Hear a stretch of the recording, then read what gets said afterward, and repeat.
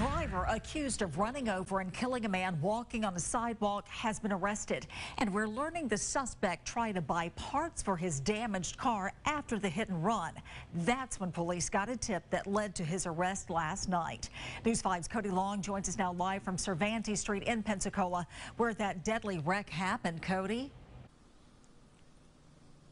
Yeah, Roseanne, the victim was with three of his friends walking on the sidewalk here on Cervantes near 19th Avenue, and then police say a car left the road and hit the man from behind as he was pushing his bicycle.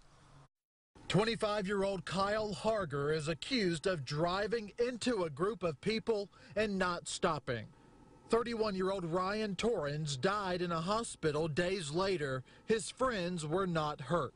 Police say after this happened, Harger went to Kikers U-Pull-It on West Cervantes. It's a parts store. He ordered parts to replace on his damaged vehicle. A store employee saw the reports in the media and called police. That helped them locate Harger's Honda Civic just a couple of weeks ago at his home on North T Street. At the time, police talked to Harger and said he seemed really nervous and his legs were shaking. But he wasn't arrested until police got the data from his cell phone that proves where he was at the minute that deadly hit and run happened. Police say that shows that he was the one driving the car.